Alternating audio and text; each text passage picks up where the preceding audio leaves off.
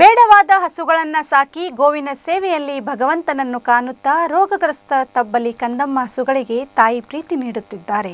ಅತ್ತನೆಯ poor ವೀರ ಯೋಧ ರಾವ್ ಸಾಹೇಬ್ ಬಕಾಲಿ ಇವರ ಗೋ ಸೇವೆಗೆ ಎಲ್ಲೆಡೆ ಮೆಚ್ಚುಗೆ ವ್ಯಕ್ತವಾಗುತ್ತಿದೆ. ಗೋ ರಕ್ಷಣೆ ನಮ್ಮೆಲ್ಲರ ಹೊಣೆ ಎಂದು ಗೋವಿನಲ್ಲೇ ಮಕ್ಕಳ ಮಮತೆ ಕಂಡ ವೀರಯೋಧ ಬೇಡವಾದ ಹಸುಗಳನ್ನ ಸಾಕಿ ಗೋವಿನ ಸೇವೆಯಲ್ಲಿ ಭಗವಂತನನ್ನು ಕಾಣುತ್ತಾ ರೋಗಗ್ರಸ್ತ ತಬ್ಬಲಿ ಕಂದಮ್ಮ ಹಸುಗಳಿಗೆ ತಾಯಿ ಪ್ರೀತಿ ನೀಡುತ್ತಿದ್ದಾರೆ. ಅತನಿಯ ಮಹಾಪೂರ ವೀರಯೋಧ ರಾವ್ ಸಾಹೇಬ್ ಬಕಾಲಿ. ಇವರು ಮೂಲತಃ ಬೆಳಗಾವಿ ಜಿಲ್ಲೆ ಶಿವಶರಣ ಶಿವಯೋಗಿಯ ಪುಣ್ಯಭೂಮಿ ಅಥನಿ ನಗರದ ನಿವಾಸಿ. ಇವರು ಸುಮಾರು ಹದಿನೈದು ವರ್ಷ ಇಂಡಿಯನ್ ನೇವಿಯಲ್ಲಿ ದೇಶಕ್ಕಾಗಿ ಶ್ರಮಿಸಿ ಸ್ಥಳೀಯ ಉದ್ಯಮಿಗಳ ಸಹಕಾರದೊಂದಿಗೆ ಶ್ರೀಕೃಷ್ಣ ಗೋಸೇವಾ ಸಮಿತಿ ಅನ್ನೋ ಹೆಸರಲ್ಲಿ ಮೂವತ್ತಕ್ಕೂ ಹೆಚ್ಚು ಹಸುಗಳ ಗೋ ಶಾಲೆಯನ್ನ ತೆರೆದು ತಮ್ಮ ಸ್ವಂತ ಖರ್ಚಿನಲ್ಲೇ ಹಸುಗಳ ಪಾಲನೆ ಮಾಡುತ್ತಾ ಇನ್ನುಳಿದ ಬದುಕನ್ನ ಗೋವಿನ ಸೇವೆಗಾಗಿ ಮುಡಿಪಿಟ್ಟ ತ್ಯಾಗಮಯಿ ಇವರು. ರಾವ್ ಸಾಹೇಬ್ ಬಕಾಲಿ ಹಾಗೂ ಅವರ ಧರ್ಮಪತ್ನಿ ಕಾಂಚನಾ ಬಕಾಲಿ ದಂಪತಿಗೆ ದೇವರು ಮಕ್ಕಳ ಭಾಗ್ಯವನ್ನ ಕಲ್ಪಿಸಿಲ್ಲ. ಆದರೆ ಆ ದಂಪತಿಗಳು ಯಾವತ್ತೂ ನಮಗೆ ಮಕ್ಕಳಿಲ್ಲ ಅನ್ನೋ ಕೊರಗನ್ನ ಪಟ್ಟಿಲ್ಲ.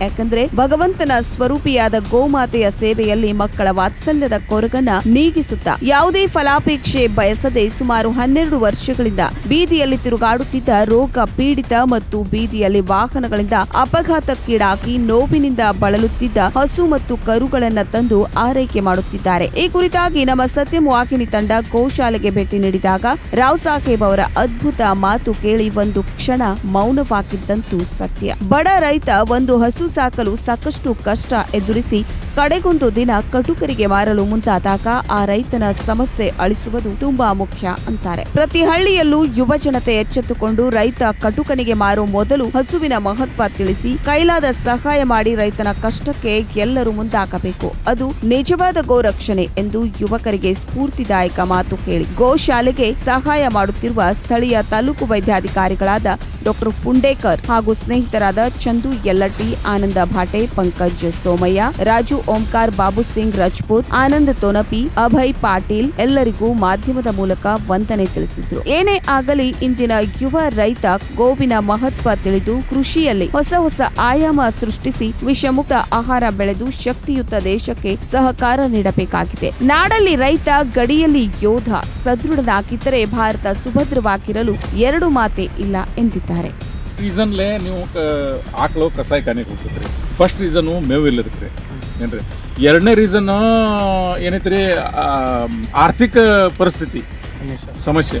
ಈಗ ಏನೋ ಮ್ಯಾರೇಜ್ ಇರ್ತೈತಿ ಏನೋ ಟ್ರೀಟ್ಮೆಂಟ್ ಇರ್ತೈತಿ ಏನೋ ದವಾಖಾನೆ ಖರ್ಚು ಇರ್ತೈತಿ ಆ ಟೈಮ್ನಾಗ ಅವಂಗ ರೊಕ್ಕ ಬೇಕಾಗಿರ್ತಾವೆ. ಎಲ್ಲಿ ರೊಕ್ಕ ಸಿಗಲ್ಲ ಅಂದ್ರೆ ಆಕಳ ಮಾರು ರೀ ಮೂರನೇದು ಮಾಡೋರು ಯಾರಿಲ್ಲತ್ ಮಾರ್ತಾರೆ ರೀ ಈ ಕೆಲವೊಬ್ರು ಎಲ್ಲ ಹುಡುಗರು ನೌಕರಿ ಹಿಡಿತಾರೋ ಇದನ್ನ ಮಾಡ್ತಾರೋ. ಮನ್ಯಾಗ ಮಾಡೋರು ಯಾರಿಲ್ಲ ಅಂತೇಳಿ ಮಾಡ್ತಾರೆ. ಈಗ ಪ್ರತಿಯೊಂದು ಹಳ್ಳಿ ಒಳಗೆ ಏನಾಗಬೇಕಂದ್ರೆ ರೀ ಈ ಈ ಬದ್ ಒಂದು ಸಂಸ್ಥೆಗಳು ತಯಾರಾಗಬೇಕು ಒಂದು ಗ್ರೂಪ್ ತಯಾರಾಗಬೇಕು. ಗ್ರೂಪ್ ತಯಾರಿಕೆಯಿಂದ ನಾ ಒಂದು ಈ ಈ ಮೂರು ರೀಸನ್ಗಳನ್ನ ನಾವು ಸ್ಟಡಿ ಮಾಡ್ಬೇಕು ರೀ. ಈಗ ನಮ್ಮ ಊರೊಳಗೆ ನಾವು ಯಾವರೇ ಆಕಳ ಮಾರ್ತಾನಂದ್ರೆ ಯಾವ ರೀಸನ್ಗೆ ಮಾರಾಕತ್ತ ನಾವು ಏನ್ರಿ?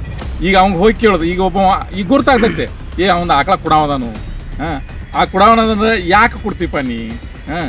ಇಲ್ಲಪ್ಪ ನನಗೆ ಮೇವು ಇಲ್ಲ ಆಗೈತಿ ನಾವು ನೀವು ಮೇವು ಕಟ್ರ ಇಟ್ಕೋತೇನ? ಒಂದು ಮೇವಿನ ಬ್ಯಾಂಕ್ ಮಾಡಬೇಕು. ಪ್ರತಿಯೊಂದು ಹಳ್ಳಿ ಒಳಗೆ ಒಂದು ಮೇವಿನ ಒಂದು ಸ್ವಲ್ಪ ಈ- ಈಗ ರಾಶಿ ಟೈಮ್ನಾಗ ಎಲ್ಲರೂ ಒಂದೊಂದು ಶಂಬರ್ ಸೂಡ ಹಿಂಗೆ ಕಲೆಕ್ಟ್ ಮಾಡಿ ಕೇಸಿಂದ ಒಂದು ಇಟ್ಟು ಕೇಸಿಂದ ಹಾಂ ಆ ವ್ಯಕ್ತಿಗೆ ನೋಡಪ್ಪ ನೀನು ಮೇವು ಇಲ್ಲ ಹೌದಿಲ್ಲೋ ಈ ಮೇವು ತಗೋ. ಇಟ್ಕೋತೇನೆ ಹಾಂ ಇಲ್ರಿ ನಾನು ಮೇವು ಯುವಜನತೆಗೆ ಏನಾಗ್ರಿ ನೋಡ್ರಿ ಆ, ಬರೇ ರೊಕ್ಕದ ಹಿಂದೆ ಹೋಗಬಾರ್ದು. ನೋಡ್ರಿ ರೊಕ್ಕ ಯಾವಾಗಲೂ ಉಪಯೋಗ ಬರೋದಿಲ್ಲ. ಹಾಂ ಏನಾಗ್ತೈತೆ ಅಂದ್ರೆ ಈಗ ನೀವು ಒಂದು ಹಾಸ್ಪಿಟಲ್ಗೆ ಹೋದ್ರಿ. ಹಾಸ್ಪಿಟಲ್ಗೆ ಹೋಗಿ ಕೇಸ ನಿಮ್ಗೆ ಏನೋ ಆ- ನನಗೇನೋ ಆಗೈತಿ. ನಾನು ಹಾಸ್ಪಿಟಲ್ಗೆ ಹೋದ್ನಿ. ನೀವು ರೊಕ್ಕ ಸೂಟ್ ಕೇಸ್ ಡಾಕ್ಟರ್ ಟೇಬಲ್ ಮೇಲೆ ಇಟ್ರೆ ಡಾಕ್ಟರ್ ಹ್ಯಾಂಡ್ಸಪ್ ಮಾಡ್ತಾನೆ ರೊಕ್ಕದಿಂದ ಆಗಂಗಿಲ್ಲ. ನಿಂದು ಪುಣ್ಯ ಇದ್ರೆ ಉಳಿತಿರ್ತಾರೆ ಹೌದಲ್ರಿ? ನಿಮ್ಗೆ ಪುಣ್ಯ ಇದ್ರೆ ಉಳಿತದ ಆ ಪುಣ್ಯ ಸ ಗಳಿಸ್ಕೋಬೇಕು ನಾವು. ಯುವಜನರು ಪುಣ್ಯ ಗಳಿಸ್ಕೋಬೇಕು. ಈಗ ಯುವಜನರಿಗಿನ್ನ ಯುವಜನರಿಗೆ ಇನ್ನ ಮ್ಯಾರೇಜ್ ಆಗಿರ್ತಿಲ್ಲ ಅವ್ರಿಗೆ ಒಳ್ಳೆ ಹೆಂಡತಿ ಬೇಕಂತೇಳಿ ಎಕ್ಸ್ಪೆಕ್ಟೇಷನ್ ಇರ್ತೈತಿ. ಒಳ್ಳೆ ಹೆಂಡತಿ ಹೆಂಗೆ ಹೆಂಗೆ ಸಿಗಬೇಕು? ನಿಮ್ಮ ಪುಣ್ಯ ಇದ್ರೆ ಸಿಗೋದು. ನಿಮ್ಮ ಮಕ್ಕಳಾಗಬೇಕು ಪುಣ್ಯ ಇದ್ರೆ ಮಕ್ಳು. ಒಳ್ಳೆ ಮಕ್ಕಳಾಗಬೇಕು ಇವೆಲ್ಲ ರೊಕ್ಕದಿಂದ ಸಾಧ್ಯ ಐತೇನ್ರಿ ರೊಕ್ಕದಿಂದ ಸಾಧ್ಯ ಒಳ್ಳೆ ಸಂಸ್ಕಾರ ಬೆಳೆಸಿದ್ರ ಜೀವನದಾಗ ಒಳ್ಳೆ ನೀವು ನಿಮಗೆ ಒಳ್ಳೆ ನಿಮ್ಮದು ನಿಮ್ಮ ನಿಮ್ಮ ಜೊತೆಗೆ ಅನ್ ಅನುಬಂಧವಾಗಿರುವಂತ ಹೆಂಡತಿ ಸಿಗ್ಬೇಕಾದ್ರೂ ನಿಮ್ಗೆ ನಸೀಬ್ ಬೇಕು. ಅಂದ್ರೆ ಪುಣ್ಯ ಪುಣ್ಯ ಬೇಕು. ಬೇಕು. ಪುಣ್ಯ ಬೇಕು. ಈ ರೊಕ್ಕದಿಂದ ನಾ ಮಾಡ್ತಾನಂದ್ರೆ ಸಾಧ್ಯ ಇಲ್ಲ. ನಿಮಗೆ ಮಕ್ಕಳು ಹುಟ್ಟಬೇಕಾದ್ರೂ ನೀವು ಬೇಕಾದಷ್ಟು ರೊಕ್ಕದ ಆಯ್ತಂದ್ರೂ ಸಾಧ್ಯ ಇಲ್ಲ. ಅದಕ್ಕೂ ಪುಣ್ಯ ಬೇಕು. ಆಮೇಲೆ ಅವು ಸಂಸ್ಕಾರವನ್ನು ಹಾಕಿಸಿಂದ ಒಳ್ಳೆಯವ್ರು ಆಗಬೇಕಾದ್ರೂ ಅದಕ್ಕೂ ಪುಣ್ಯ ಬೇಕು. ನೀ ರೊಕ್ಕದಿಂದ ನಾ ಮಾಡಿಸ್ತಂದ್ರೆ ಸಾಧ್ಯ ಇಲ್ಲ. ಅದಕ್ಕೆ ಬರೀ ರೊಕ್ಕ ಒಂದು ಉಪಯೋಗ ಇಲ್ಲ. ನಾವು ಯುವಜನರಿಗೆ ಏನು ಹೇಳ್ಬೇಕಂತಂದ್ರೆ ಬರೀ ರೊಕ್ಕದ ಹಿಂದೆ ಬಿಡಬೇಡ್ರಿ. ಮೊದಲು ಸ್ವಲ್ಪ ಜೊತೆಗೆ ಒಂದು ಸ್ವಲ್ಪ ಪುಣ್ಯ ಪುಣ್ಯನು ಗಳಿಸ್ರಿ. ಪುಣ್ಯ ಪುಣ್ಯ ಕೆಲಸ ಮಾಡಿರಿ. ಪುಣ್ಯ ಕೆಲಸ ಅಂದ್ರೆ ಇಂಥವು ಮೂಕ ಪ್ರಾಣಿ. ಅಂದರೆ ಇದು ನೋಡ್ರಿ ಭಗವಂತನ ದೃಷ್ಟಿಯೊಳಗೆ ಇವು ಮಕ್ಕಳ ನಾವೆಷ್ಟು ಭಗವಂತನಿಗೆ ಅಟ್ಯಾಚ್ ಇಡಿದೀವಲ್ಲ ಇವು ಅಷ್ಟೇ ಅದಾವ. ಹೌದಿಲ್ರಿ? ಭಗವಂತನ ಹುಟ್ಟಿಸಿದ್ದು ನಮ್ಮನ್ನು ಹುಟ್ಸನ್ ನಾವೇನು ಅಷ್ಟು ಬುದ್ಧಿ ಕೊಟ್ಟು ಹುಟ್ಸನ್ ಹಾಂ ಅವು ಅವಕ್ಕೆ ಬುದ್ಧಿ ಕೊಟ್ಟು ಹುಟ್ಟಿಸಿಲ್ಲ ಅಂದ್ರೆ ನಾವು ಅದ್ರ ಮೇಲೆ ಹೆಚ್ಚು ನಾವು ಇದನ್ನು ಮಾಡಬೇಕು. ಕರೆಕ್ಟ್ ಪ್ರಾಣಿಗಳ ಮೇಲೆ ಹೆಚ್ಚು ನಾವು ಪ್ರೇಮ ಮಾಡಿಕೆಸಿಂದ ಅದರಿಂದ ನಮಗೆ ಪುಣ್ಯ ಬರುತ್ತೆ ವೀಕ್ಷಕರೇ ನಮ್ಮ ಸತ್ಯಂ ವಾಹಿನಿಯ ಪ್ರತಿದಿನದ ಅಪ್ಡೇಟ್ ಮಾಹಿತಿಯನ್ನ ತಿಳಿದುಕೊಳ್ಳಲು ಸತ್ಯಂ ಟಿವಿ ಕನ್ನಡ ಯೂಟ್ಯೂಬ್ಗೆ ಸಬ್ಸ್ಕ್ರೈಬ್ ಹಾಕಿ ಹಾಗೂ ಬೆಲ್ ಐಕಾನ್ ಅನ್ನು ಕ್ಲಿಕ್ ಮಾಡಿ.